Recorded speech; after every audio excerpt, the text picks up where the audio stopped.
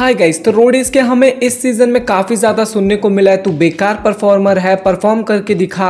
या तो टास्क तो कभी जीतता ही नहीं, हमें ये सब चीज़ें सुनने को बहुत ही ज़्यादा मिलता है। और कुछ मेनली जो हाईलाइटेड कंटेस्टेंट होते हैं ना, जो मेन कंटेस्टेंट होते जैसे की पराक्रम हो गए, सोवेत हो गए, ऋषभ हो गए, वासु हो गए, इन सब लोगों के बीच में ये सुनने को ज़्यादा मिलता है। और सीवित और ऋषभ की कॉन्ट्रोवर्सी तो आपको पता ही है, कितने लंबे टाइम से चल रहा है। जब से सीज़न स्टार्ट हुआ है, तब से हमें वो देखने को मिल रहा है। बट इन दोनों के बीच में हमें कभी भी face to to face task देखने को नहीं मिला या फिर और भी अनदर कंटेस्टेंट जो कि बहुत ही ज़्यादा हाईलाइटेड है बट उनका फेस ऑफ़ टास्क हमें देखने को नहीं मिला। तो कुछ मैं आपको ऐसे टास्क बताने वाला हूँ जो कि हमें फ्यूचर में देखने को मिलेंगे फेस ऑफ़ और वो भाई one of the best task होने वाले हैं इस सीज़न के। तो बस चैनल को सब्सक्राइब कर लेना, जैसे कि पराक्रम वसे सिवित का टास्क भाई वो one of the best one of the best का, भाई वो अब तक का बेस्ट ही था, जो हमें बॉल के लिए लड़ते हुए दिखे थे पराक्रम और सिवित। बहुत ज़बरदस्त टास्क था, और कुछ वैसा हमें और देखने को मिलता था और भी ज़्यादा मज़ा आता। वैसे ही हमें सिवित और ऋषभ। फाइनली जिस चीज़ का वेट था,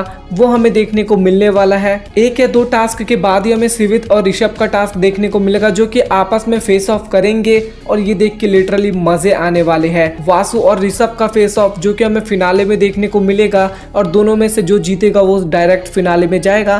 तो इनका फेस ऑफ़ देखने में भी बहुत ही ज़्यादा मज़ा आएगा। और कुछ उसी तरीके से सिवित और हिमांशु का फेस ऑफ़ हिमांशु भी एक तरह से कह सकते हो आप अंडरडॉग की तरह है बट उनका परफॉर्मेंस भी नेक्स्ट लेवल है।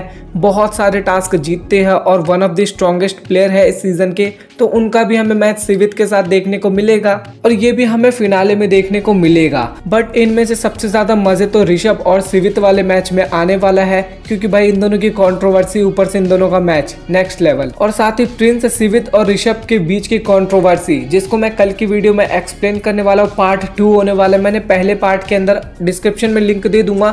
मैंने कहाँ से कॉन्ट्रोवर्सी शुरू हुई थी और जब तक लास्ट सीन हुआ था, तब तक का मैंने एकदम डिटेल में सब कुछ एक्सप्लेन किया था। किसी का साइड नहीं लिया था, मैंने सिर्फ़ एक्सप्लेन किया था। और कुछ उसी तरीके से अगली वीडियो में मैं फुल कॉन्ट्रोवर्सी को अपलोड करने वाला हूँ। मतलब कि अब जो फिर से शुरू हुआ है, वहाँ से लेके अब तक का। तो बस चैनल को सब्सक्राइब करके रखना और आप लोग कमेंट सेक्शन में बताओ कि आप किस मैच के लिए सबसे ज़्यादा एक्साइटेड हो। कमेंट सेक्शन में बताना और अगर आप लोगों को वीडियो पसंद आया तो वीडियो को लाइक और चैनल को सब्सक्राइब कर देना। मिलता अगली वीडियो में, तब तक के लिए बाय।